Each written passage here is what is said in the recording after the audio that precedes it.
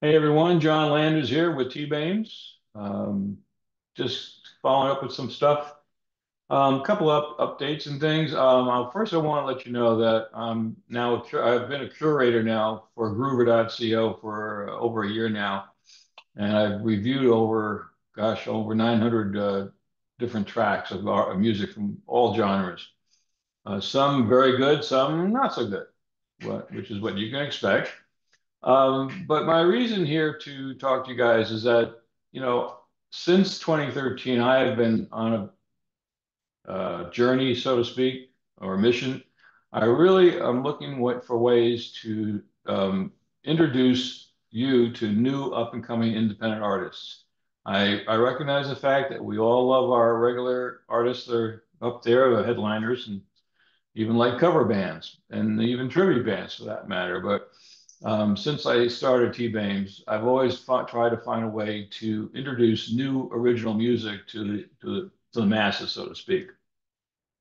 So by what I'm, one of the things I want to share with you is that um, I do have a um, profile on Spotify, and I've been adding a lot of new artists to my Spotify playlist. So if you ever want to look for some really good music instead of all, you know, without having to vet it yourself, um, I invite you to go to Jon Landers, J O N O H, on uh, Spotify and see what my lists are. Um, there's a lot of new good stuff out there um, that really sound as good, if not better, than some of the headliners today.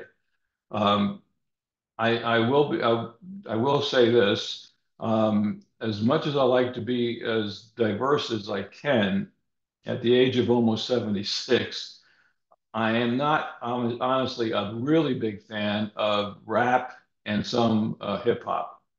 And reason being is that I don't personally appreciate any uh, lyrical material that has to use profanity, defames women, or promotes violence. It's not my thing and never has been. Um, so those are the primary reasons I don't support those venues as much. Those are not venues, those uh, genres because I, I just appreciate clean, good, you know, music with, you know, I'm, I'm a firm believer. You can make it a point. You can make a point about something without having to use profanity. It's not necessary. It's un, unnecessary, in my opinion. So, um, having said that, I invite you to check out my Spotify playlist. I will try to bring more as I go as I review these uh, tracks to the my social media sites as I have been doing.